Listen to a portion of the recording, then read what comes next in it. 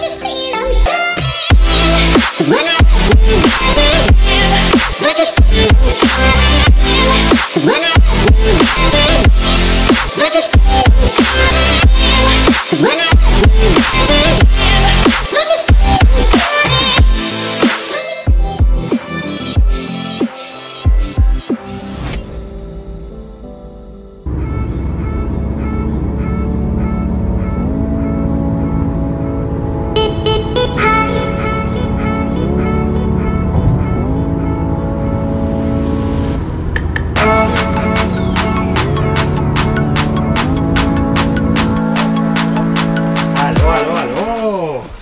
Tenemos por aquí? El gordito, el mister. ¿Cómo estás? ¿Se ha hecho dura la espera? ¿Eh? ¿Se ha hecho dura la espera? No, todavía llevo 5 minutos nada más, tío. Me he perdido un poco por el pueblo, pero bueno, vamos allá. Bueno, momento de reventar, ¿verdad? Mira eso, no se ve, no se ve mal, ¿eh? Nada, chicos, vamos a... re- bueno, no, no reventar, primera vez, que vamos a ir con calma, ¿verdad?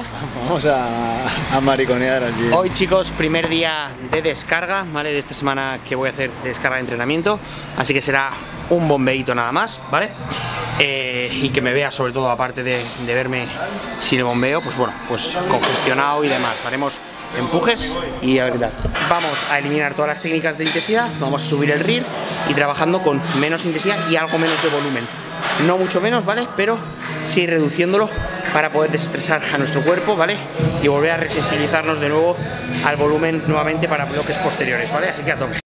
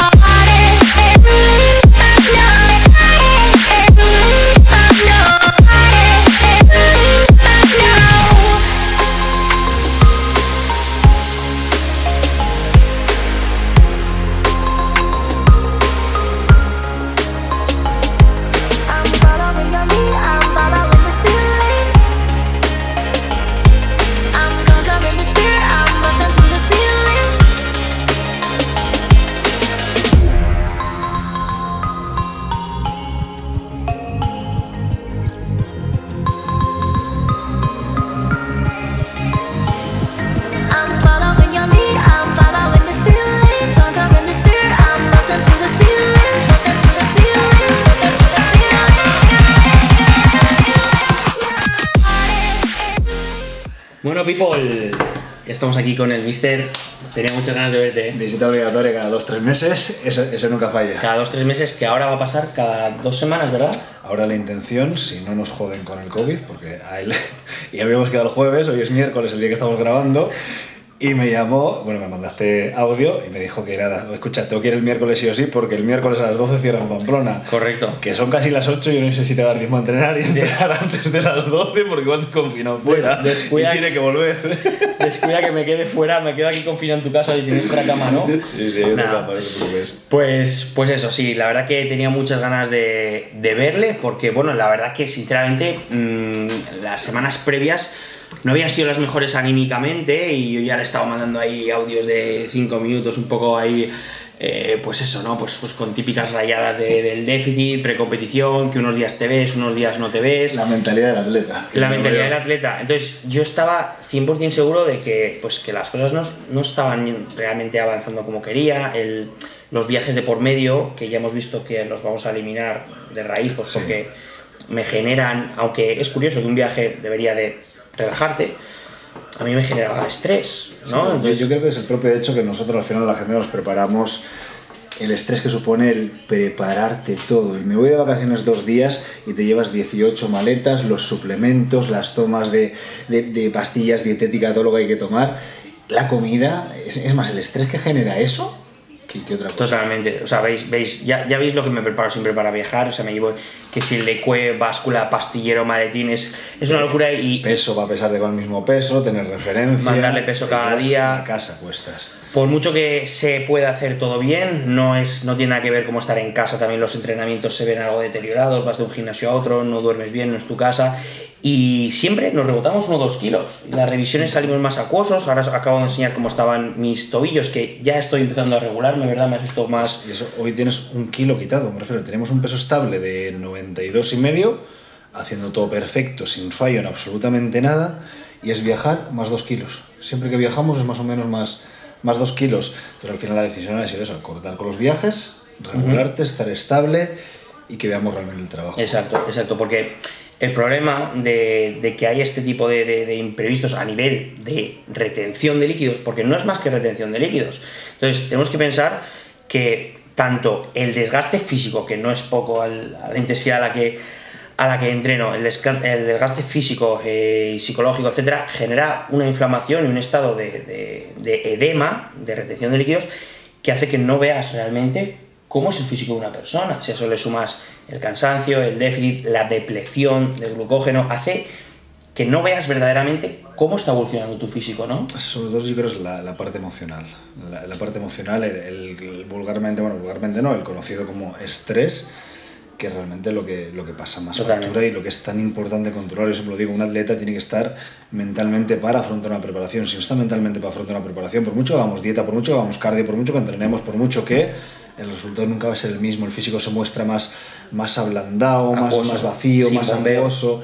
Exactamente. Totalmente. Y encima, claro, la, la solución muchas veces es quitar más calorías porque el peso no repercute, no baja y demás, por lo cual lo único que se hace es se agrava el problema. Totalmente. Por eso nuestra decisión también ha sido mantener calorías, que te quedes estable y ver cómo te vayas drenando. De hecho, ya un kilo menos. Totalmente, totalmente. Y es que yo mismo me daba cuenta de que eh, al yo no verme así me entraba en un bucle en el que, joder, eh, tengo que quitar más comida o tengo que subir más cardio, que nunca lo he hecho, por supuesto, para eso eh, trabajo en el ECO, pero mm, hace que pues te aumente tú mismo tu, tu propio estrés, suba el cortisol y tu, tu cuerpo no reaccione como, como debe. Así que he, he cambiado varios aspectos de tanto de organización como de tareas y proyectos que tenía, los he paralizado y he decidido eliminar ciertas, ciertos estresores externos de mi vida para centrarme de pleno, que, es, que he estado centrado desde que empezamos en diciembre hace un año, pero, pero hay que ir priorizando y hay que ser un poco egoístas en ciertos momentos y, y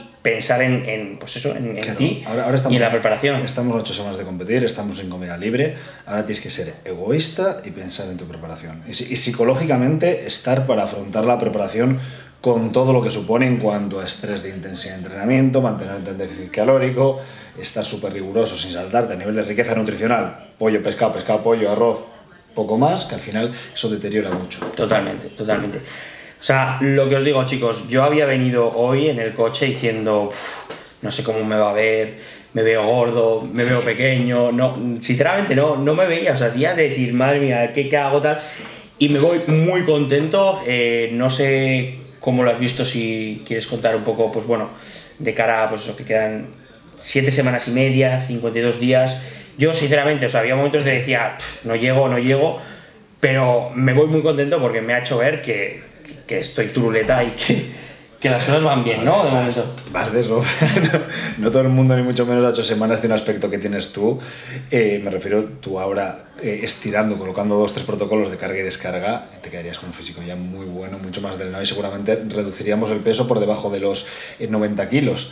Con lo cual realmente está ya. Lo que pasa es que al final, lo he dicho, siempre nos entran prisas, siempre queremos, queremos, queremos. Pues lo que le conté, yo le conté en privado. Que yo cuando fui a la Olimpia de Londres, lo que te conté por, por WhatsApp el otro día, cuando fui a la Olimpia de Londres, que yo y gané mi categoría de 21 atletas internacionales, Yo le decía a Monse, yo me quiero pirar de aquí, yo quiero pintoradas. Yo soy la mitad de todos estos. Claro. Tócate los cojones y luego gané, porque es que realmente no te ves.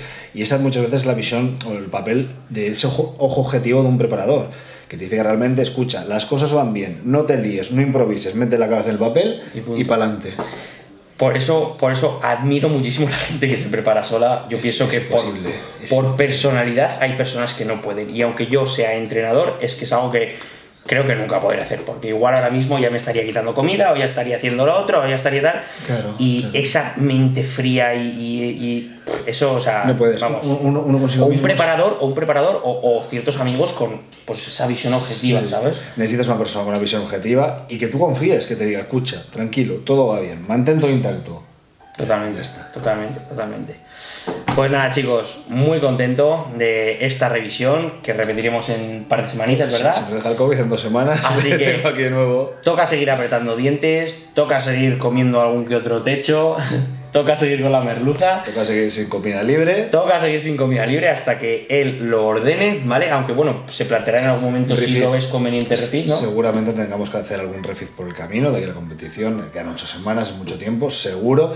Pero lo que te he dicho, yo desde luego no te he visto vacío, ni mucho menos. No creo que lo requeramos todavía. Entonces, cuando veamos que se requiere ese refit, no tanto por aspecto psicológico, sino por aspecto visual, Claro. lo utilizaremos. Estamos hablando de un refit de 500, 600 carbogramos en un, en un Día de día. descanso, vale. De descanso, exacto, relajadito, Netflix, comida. Buah, Eso suena espectacular, así que estoy ansioso porque llegue y más importante aún porque llegue la competición y de veros a todos vosotros ahí, que es increíble el apoyo que me estoy llevando y os agradezco muchísimo cada uno de vuestros comentarios, mensajes, cada, cada mensajito, cada segundo que utilizáis, de verdad que para mí es fuerza.